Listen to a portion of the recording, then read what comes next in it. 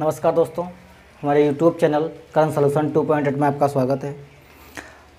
देखिए स्क्रीन पर आपकी प्रश्न आ रहा होगा, पढ़िए और वीडियो रोक करके लगाइए इसको। प्रश्न, पहला प्रश्न है, चार अंकों की न्यूनतम वह संख्या कौन सी न्यूनतम संख्या जोड़ी जाए ताकि नवासी से पूर्णतया विभाज्य हो? देखिए, चार अंकों की न्यूनतम यानी छोटी सी छोटी संख्या कह रहा है और नवासी से पूर्णता विभाजित की बात कर रहा है तो इसको भाग करते हैं। तो नवासी एक कम, नवासी दस से एक, नौ जाएँगे कितना बचेगा? एक, यहाँ नौ से आठ जाएँगे कितना बचेगा? एक। फिर ज़ीरो उतार लेते हैं, फिर एक अन्ना पर काटते हैं। तो यहाँ पर कितना बचा? एक और यहाँ पर कितना बचा? दो। अब देखिए, बात छोटी सी छोटी कर रहा है तो क्या करेंगे? इस नवासी से इक्कीस को घटाते हैं। कितना बचेगा यहाँ पर? नौ से एक गया। नौ से एक गया कितना बचा? आठ। और आठ से दो गया कितना बचा? छः। वह संख्या अड़सठ होगी, जो इसे नवासी से पूर्णतः विभाज्य होगी और चार अंकों की संख्या होगी और छोटी सी छोटी वो संख्या होगी। तो ऑप्शन नंबर आपका सी बिल्कुल सही आंसर होगा। प्रश्न नंबर दो देखिए।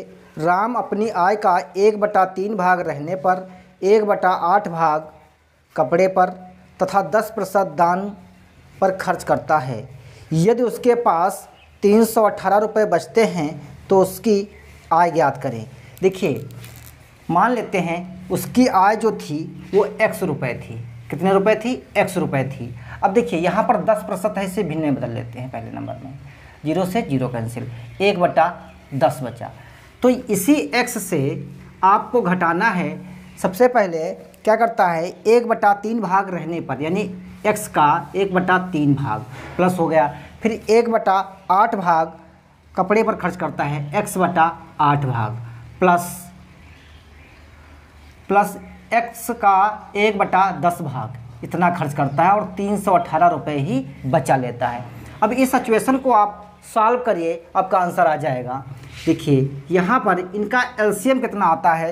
इनका एलसीएम आता है 120 120 एलसीएम आप लोग जानते हैं निकालने के लिए तो तीन चक्कू बारह, यानी 40 एक्स प्लस पंद्रह अट्ठी एक सौ बीस, पंद्रह एक्स प्लस बारह दशाम एक सौ बीस, बारह एक्स बराबर तीन सौ अठारह। एक्स से ही माइनस करना आपको है, ये चीज़। अब देखिए, यहाँ पर 120 एक्स ये हो गए। अब इनको जोड़ते हैं। जोड़िए तो कितना बनेगा यहाँ पर? इनका योग बनेगा सड़सठ एक्स सड़सठ एक्स बटे 120 120 बराबर 318 सड़सठ से 120 से 10 10 से 7 जाएँगे, कितना बचेगा? तीन। और यहाँ पर बचा ग्यारह। ग्यारह से छः जाएँगे, कितना बचेगा? पाँच। तिरपन एक्स बराबर एक सौ बीस गुणे तीन सौ अठारह। एक्स बराबर एक सौ बीस गुणे तीन सौ अठारह बटे तिरपन। तीन छाक अठारह, पाँच छक्का तीस और एक इकतीस, यानी तिरपन छक्का तीन सौ अठारह। बार छंग बहत्तर और छः ज़ीरो ज़ीरो। एक सात सौ बीस रुपये उसकी आय थी। थोड़ा कैलकुलेशन करने का फास्ट तरीका है। एक बार फिर समझाते हैं। तीन छक्का अठारह हँसी लगा एक, पाँच छक्का तीस, एक इकतीस, यानी तिरपन छक्का तीन सौ अठारह। तो उसकी जो मासिक आय थी, वो सात सौ बीस रुपये थी। ऑप्शन नंबर डी बिल्कुल सही आंसर होगा। प्रश्न नंबर तीन देखिए। निकटतम मान बताना है। देखिए, निकटतम मान के लिए क्या करेंगे? जो पाँच से, जैसे यहाँ पर लिखा है एक पॉइंट पाँच तो इसका अर्थ क्या हुआ? दो लिखा है। अगर कहीं पर लिखा है एक पॉइंट चार तो इसका मतलब क्या लिखा है? एक लिखा है। कहीं पर लिखा है दो पॉइंट तीन तो इसका मतलब क्या लिखा है? दो लिखा है। अगर पाँच है तो आप तीन मानिए, चार है तो इधर का मानिए।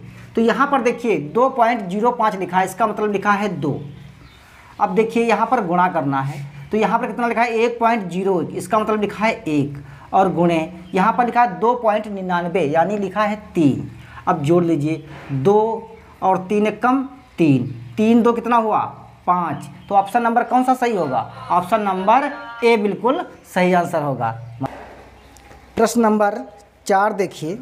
वह न्यूनतम संख्या बताइए, जिसमें यदि छः घटा दिया जाए तो वह संख्या इक्कीस, अट्ठाईस, छत्तीस और अड़तालीस से पूर्णतः विभाजित दशा में आ जाए। देखिए, इक्कीस कामा अट्ठाईस कामा छत्तीस कामा अड़तालीस। न्यूनतम संख्या है। न्यूनतम का मतलब होता है, लघुत्तम और न्यूनतम का मतलब होता है एलसीएम। तो इनका एलसीएम आप निकाल लीजिए। एलसीएम निकालने के लिए आपको तरीका पता है। दो से काटिए, इक्कीस उतार लीजिए। चौदह आएगा, फिर अठारह आएगा और चौबीस आएगा। फिर क्या करते हैं? फिर दो से काटिए। इक्कीस आएगा, सात, फिर नौ, फिर बारह। फिर क्या करते हैं? फिर दो से काटिए। इक्कीस आएगा, सात, नौ और छः। फिर दो से काटिए। इक्कीस आएगा और सात, नौ और तीन पर काटिए। अब तीन से काट दिए। तीन सत्ते, इक्कीस और सात उसी प्रकार लिए तीन तियाँ, नौ, तीन कन्ना तीन। अब तीन से काटिए, सात उसी प्रकार उतारिए, तीन एक कम तीन और तीन एक कम तीन, सात एक कम सात। अब देखिए, दो दूनी, चार दूनी, आठ दूनी, सोलह। सोलह यहाँ पर लिखते हैं, फिर तीन तियाँ, नौ गुणे सात। सोलह नवा, एक सौ चौवालीस गुणे सात।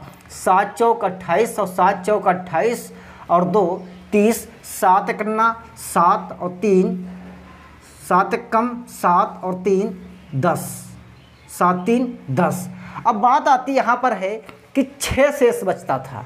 तो यहाँ पर छः जोड़ देते हैं। जो शेष बचता है उसे जोड़ते हैं। तो आठ छः चौदह और दस। तो दस, सौ, यानी एक हज़ार चौदहवा संख्या होगी। ऑप्शन नंबर आपका बी बिल्कुल सही आंसर होगा। प्रश्न नंबर पाँच देखिए। चार लाख अट्ठावन हज़ार सात सौ उनहत्तर डेसी लीटर को किलोलीटर के मान होगा। देखिए, क्या करते हैं, लीटर में, अगर लीटर में हो तो क्या करते हैं, दस से भाग करेंगे। यही अगर डेका लीटर हो तो क्या करेंगे, डेका लीटर हो तो सौ से।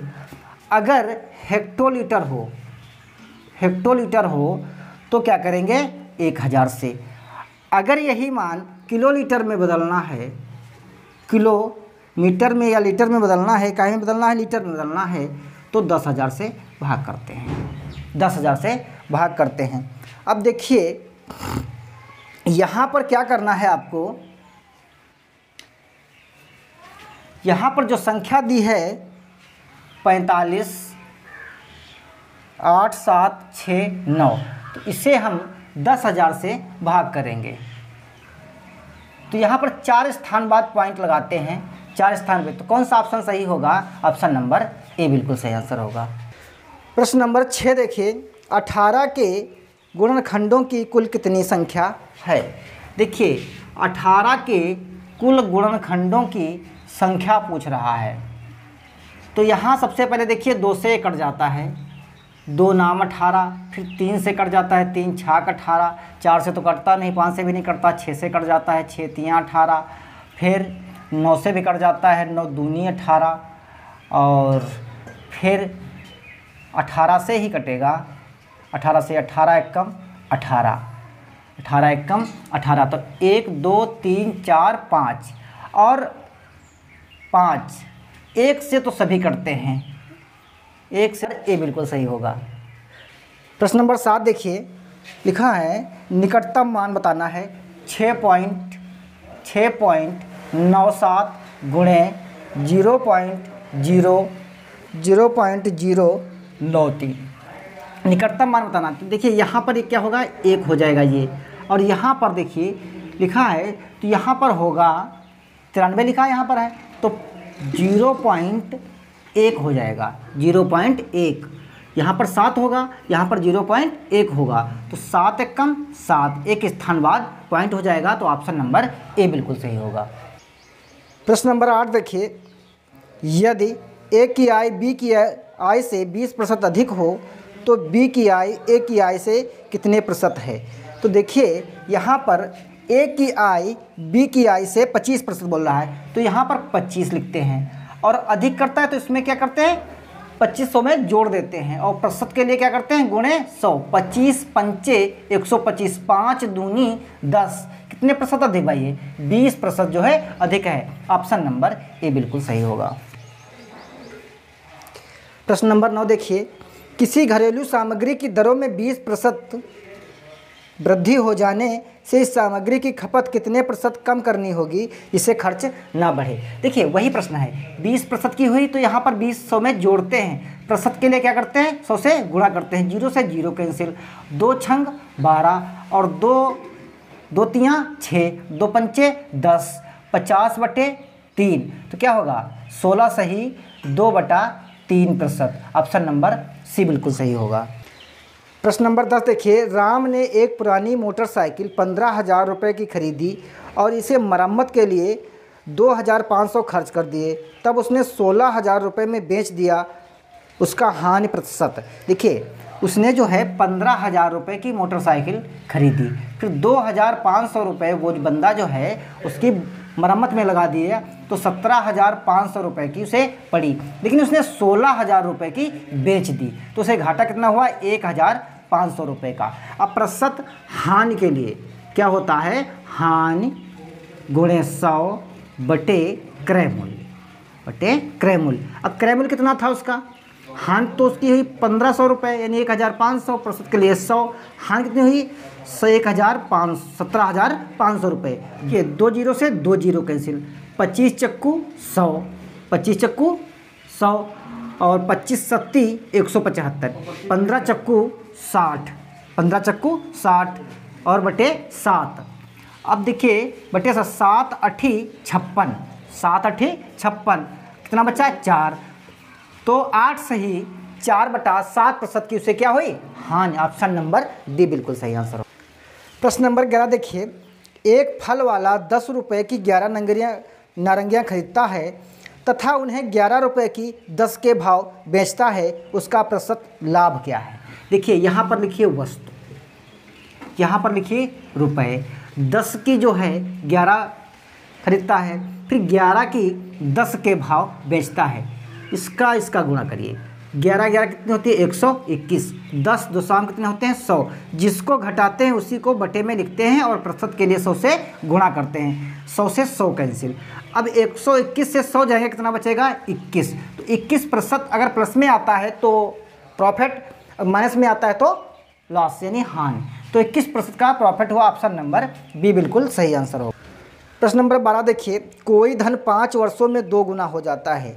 बताइए बताइए कि वह कितने वर्षों में तीन गुना हो जाएगा? कोई धन पाँच वर्षों में दो गुना, हमें निकालना है तीन गुना। तो एक घटा के जो दो गुना दिया है, उसी से भी एक घटा देते हैं। जो समय दिया है, उसे हम गुणा कर देते हैं। तो पाँच दूनी दस वर्ष। तो जो तीन गुना होने में जो समय लगेगा, वो दस वर्ष लगेगा। ऑप्शन नंबर ए बिल्कुल सही आंसर होगा। प्रश्न नंबर तेरह देखिए।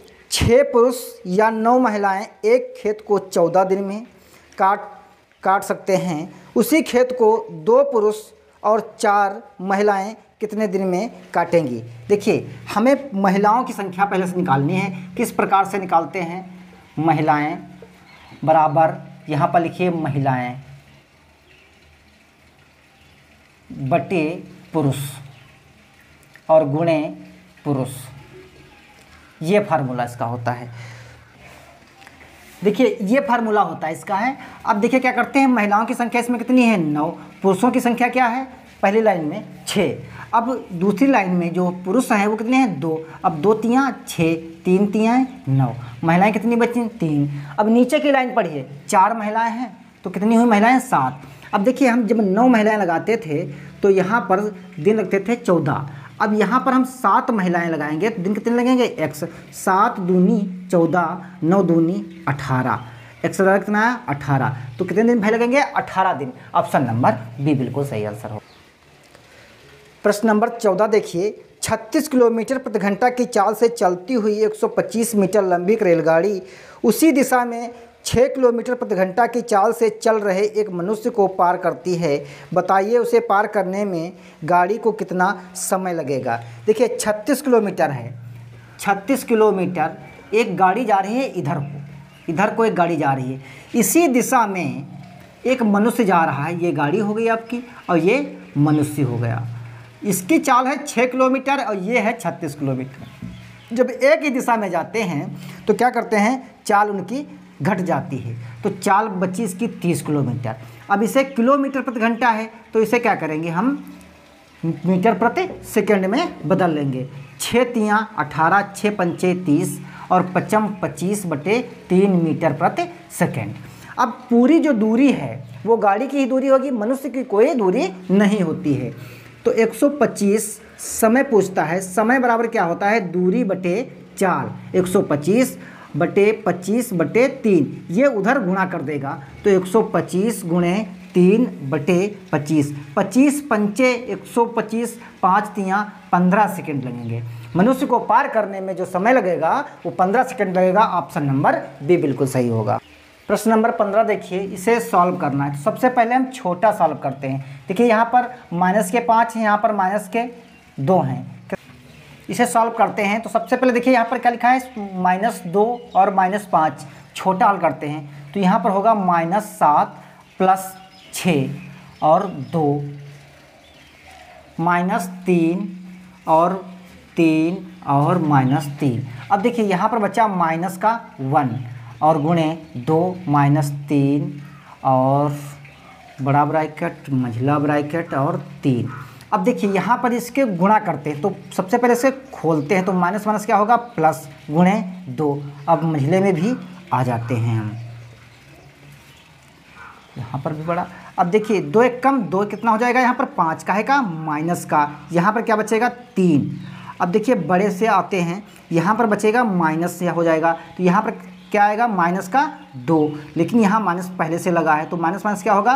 प्लस दो और तीन। तो आंसर आपका आएगा पाँच। ऑप्शन नंबर डी बिल्कुल सही आंसर होगा। नंबर प्रश्न नंबर सोलह देखिए। 275 मीटर लंबी रेलगाड़ी 35 किलोमीटर प्रति घंटा की चाल से चल रही है तथा विपरीत दिशा से 225 मीटर लंबी रेलगाड़ी 25 किलोमीटर प्रति घंटा की चाल से आ रही है। दोनों एक दूसरे को पार करने में लगा समय। देखिए, रेलगाड़ी चाहे विपरीत दिशा में हो या आमने सामने हो? उनकी लंबाइयाँ हमेशा जुड़ना है। तो दो सौ पचहत्तर और 225 आप पहले जोड़ लीजिए। पाँच पाँच दस सात दो सात दो नौ एक दस, दो दो चार 500 मीटर। जो दूरी बनेगी आपकी, वो 500 मीटर की बनेगी। लेकिन विपरीत दिशा में आ रही हैं तो इनकी क्या होगी? चालें जुड़ जाएँगी। तो 35 प्लस 25 जुड़िए पाँच पाँच दस तीन दो पाँच और छः। साठ किलोमीटर की जो स्पीड होगी, वो साठ किलोमीटर की होगी प्रति घंटा, लेकिन इनको हमें बदलना क्या है मीटर प्रति सेकेंड में। तो मीटर प्रति सेकेंड में छः तियाँ अठारह, छः दो शाम साठ बराबर दस पचे, पचास बटे तीन मीटर प्रति सेकेंड। समय निकालना है, समय बराबर क्या होता है? दूरी बटे दूरी बटे चाल। तो दूरी कितनी है? 500 मीटर की। और समय है 50 ये तीन उधर गुणा करेगा। तो पाँच कम पाँच और एक ज़ीरो से एक ज़ीरो कैंसिल। दस तियाँ तीस। दस तियाँ तीस सेकेंड। एक दूसरे को पार करने में जो समय लगेगा, वो तीस सेकेंड का लगेगा। ऑप्शन नंबर सी बिल्कुल सही आंसर। प्रश्न नंबर सत्रह देखिए। एक वर्गाकार मैदान की भुजा सात मीटर है। इसका परिमाप और आयत के, आयताकार मैदान के परिमाप बराबर है। यदि आयताकार मैदान की चौड़ाई छः मीटर है तो आयताकार का विकर्ण बताइए। तो आयताकार का विकर्ण बताइए। ये कहता है जिसे ये वर्गाकार है। इसकी भुजा सात मीटर है। ये आयताकार है। इसकी भुजा एक सात छः मीटर दे रखी है। छः मीटर दे रखी है। तो इसका परिमाप और इसका परिमाप आपस में बराबर हैं। परिमाप जो हैं, बराबर हैं। देखिए वर्ग का जो परिमाप होता है तो वर्ग का परिमाप बराबर होता है चार गुणे भुजा। तो सात गुणे चार बराबर अट्ठाईस मीटर। तो आयत का भी परिमाप हुआ, आयताकार मैदान का जो परिमाप हुआ, वो भी 28 मीटर हुआ। लेकिन हमें दूसरी भुजा पता करनी होगी इसमें। तो दूसरी भुजा पता करने के लिए आयत का परिमाप होता क्या है? आयत का परिमाप बराबर दो, लंबाई प्लस चौड़ाई। तो यहाँ पर अट्ठाईस लिखते हैं और यहाँ पर दो और लंबाई दी नहीं इसकी है तो एक्स मान लेते हैं, एक दी भुजा है छः। तो चौदह दूनी अट्ठाईस बराबर एक्स प्लस छः पच्छांतर कर लेते हैं। चौदह से छः जाएँगे, चौदह से छः जाएँगे एक्स बराबर कितना बचेगा आठ। तो जो लंबाई आई, वो आई इसकी आठ मीटर और चौड़ाई जो दी है, वो दी इसकी है छः मीटर। विकर्ण बराबर क्या होता है? आयत का विकर्ण, आयत का विकर्ण बराबर होता है लंबाई स्क्वायर प्लस चौड़ाई का स्क्वायर और अंडर रूट। यानी आठ का स्क्वायर प्लस छः का स्क्वायर बराबर आठ अठाई चौंसठ छछरंग छत्तीस रूट बराबर सौ, यानी अंडर रूट सौ और दस मीटर। तो विकर्ण की जो लंबाई होगी, वो दस मीटर की होगी। ऑप्शन नंबर ए, बिल्कुल सही आंसर। प्रश्न नंबर उन्नीस, देखिए, धातु के बने 12 सेंटीमीटर भुजा वाले घन को पिघला कर तीन छोटे छोटे घन बनाए जाते हैं। यदि इनमें दो घनों की भुजाएँ छः सेंटीमीटर, आठ सेंटीमीटर हों तो तीसरे घन की भुजाओं की लंबाई क्या है? देखिए, घन का जो आयतन होता है, वो घन का आयतन बराबर भुजा क्यूब। क्या होता है? भुजा क्यूब। अब देखिए, एक बड़ा सा घन है, इतना बड़ा सा घन है, उसमें से तीन छोटे छोटे घन बनाए जाते हैं, जिनकी माप दो की दी है, तीसरे की माप आपको बताना है। जो बड़ा घन है, उसका क्या है? बारह बारह सेंटीमीटर है। तो बारह का हम क्यूब करेंगे। इसमें से इन दो छोटे घनों को, जिसकी भुजा है आठ और एक की भुजा है छः इसको निकालना है। तीसरे की मान लेते हैं एक्स मान लेते हैं एक्स बारह बारह का आप क्यूब करेंगे तो क्या होगा? सत्रह अट्ठाईस, यानी एक हज़ार सात सौ अट्ठाईस। आठ का जो क्यूब करते हैं तो क्या होता है? पाँच सौ बारह। छः का होता है दो सौ सोलह। अब इसमें से प्लस एक्स ये आप जोड़ लीजिए। इसको आपको जोड़ना है। ये जो जोड़ते हैं तो इनका जो जोड़ आएगा छः और दो, आठ, और एक दो, एक और एक, दो, पाँच दो, सात। सत्रह, अट्ठाईस से इसको माइनस करते हैं, एक्स बराबर। तो आता है ज़ीरो, फिर ज़ीरो फिर ज़ीरो, एक हज़ार। तो एक्स का क्यूब करते हैं। एक्स जो क्यूब यहाँ है, ये क्यूब जो है, इस पर चढ़ा देते हैं तो क्या आएगा? दस। जो दूसरे की भुजा आएगी, वो आएगी दस। ऑप्शन नंबर इसमें कौन सा सही होगा? ऑप्शन नंबर बी सही होगा। ऑप्शन नंबर बी सही होगा। प्रश्न नंबर बीस देखिए। दस मीटर लंबी, चालीस सेंटीमीटर मोटी और दस मीटर ऊँची दीवार बनाने के लिए पच्चीस सेंटीमीटर लंबी, पाँच सेंटीमीटर चौड़ी तथा पाँच सेंटीमीटर मोटी कितनी ईंटें लगेंगी? देखिए आपको ईंटों की संख्या पता करना है। ईंटों की संख्या बराबर दीवार का आयतन बटे एक ईंट का आयतन, एक ईंट का आयतन। दीवार कैसी होती है? लंबाई, चौड़ाई, अगर ऊंचाई दी है तो घनाकार होती है। घनाकार की लंबाई क्या होती है? लंबाई गुणे चौड़ाई गुणे ऊंचाई। लेकिन एक ही यूनिट में, देखिए, इसकी दी है मीटर में तो इसको सेंटीमीटर बदलने के लिए सौ से गुणा। फिर दिया है चालीस सेंटीमीटर, इसको वैसे रखेंगे। फिर दिया है दस मीटर, इसको भी हम क्या करेंगे? सौ से गुणा करेंगे। अब बटे में पच्चीस गुणे पाँच गुणे पाँच। पच्चीस चक्कू सौ, पाँच दूनी दस और पाँच दूनी दस। चार दूनी आठ आठ दूनी, चार दूनी आठ आठ दूनी सोलह, चक्कू चौंसठ और तीन ज़ीरो। तो ईंटों की जो संख्या होगी वो चौबीस हज़ार होगी। ऑप्शन नंबर चौंसठ हज़ार, ऑप्शन नंबर ए सही है। दोस्तों, हमारे एक मित्र हैं, उनका एक ई परीक्षा के नाम से ऐप है, जो प्ले स्टोर में जाइएगा और डाउनलोड कर लीजिएगा। उसमें आपको एक हज़ार से अधिक आपको टेस्ट मिलेंगे। मैथ के भी हैं, रीजनिंग के भी हैं और हिंदी के हैं और 20 प्रैक्टिस सेट हैं जो आपको बहुत परीक्षा में कामयाब करेंगे। देखिए, और इसका लिंक भी डिस्क्रिप्शन में हम दे देंगे। देखिए, अगर आपको अच्छा लगता है तो हमारे नंबर पर फ़ोन करिए, हम आपको बताते हैं कैसा ये ऐप है। और अगर ये वीडियो आपको अच्छा लगे या किसी प्रकार की जानकारी चाहिए तो हमें कमेंट बॉक्स में बताइए, कॉल करिए, हम आपकी कॉल रिसीव करते हैं। और आपके जो भी शिकवा या किसी प्रकार का सुझाव देना चाहते हैं तो ज़रूर दीजिए। धन्यवाद दोस्तों।